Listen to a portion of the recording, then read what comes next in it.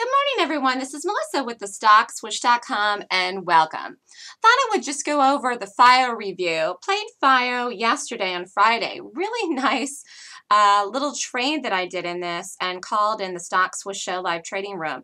And, and if you look at the bar in the day, it really doesn't look like much of anything. I captured, though, the whole move of this with the exception of like five cents. Really something. Really, really had a great entry and a great exit on this. So we'll go over it here in a minute. But this was just really follow through from the day before here, which was Thursday. I did this gap here on Thursday. This was the gap.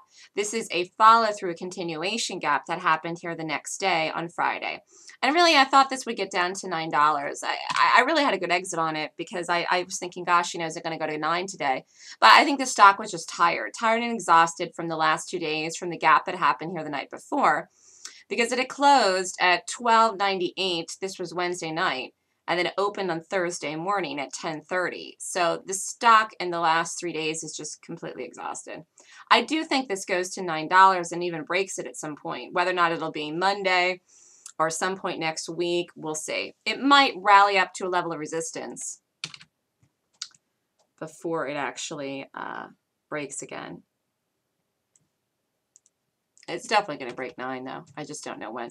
So here was the trade from Friday. And again, this is the kind of thing where if you don't know how to do uh, setups or entries or where to put your stop or where to take something, it really helps to be in the live trading room. This was a nice trade and really doesn't look like much of anything, but it was almost a four-hour trade. So just chunked onto my day here by doing this besides the other main gap that I did on Friday morning. So here this opened, tried to rally, tried to rally, tried to rally, held, and you do it. You do it right here, and then I took a little bit more here, so my price was 973.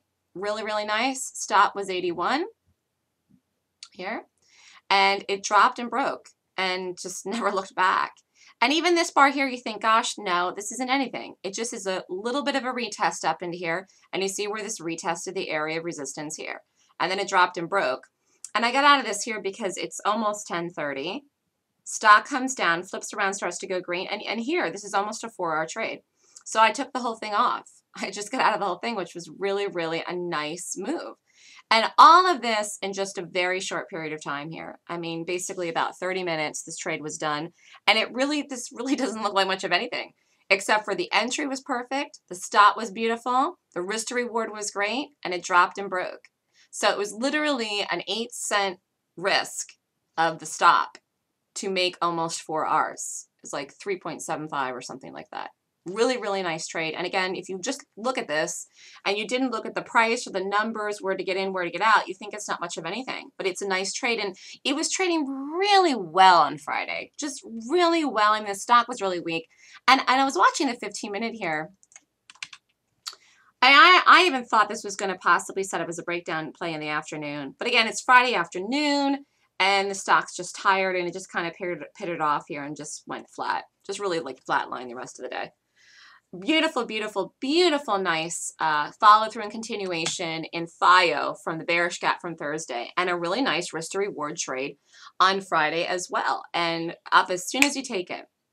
This is Melissa with the StockSwoosh.com. If you'd like more information on the upcoming Golden Gap class for November, uh, the date of the class for November is November 9th and 10th. So if you'd like more information, email me at melissa at thestockswoosh.com. And this is one of these things you learn uh, in the gap class, how to take entries, where to put the stops. And also I call these live calls in the live trading room. So if you do the gap class and then want to become a member of the Stocks Swoosh Show live trading room, you'll get calls like this to just take the trades with me because I'm saying it as I'm doing it and where I'm putting the stop. And uh, this was a really nice uh, second play on FIO. FIO was a good, good trade this week. Uh, paid me two days in a row, and that's really fun. Have a great weekend, everybody. This is Melissa with the StockSwoosh.com, and I will talk to everyone soon.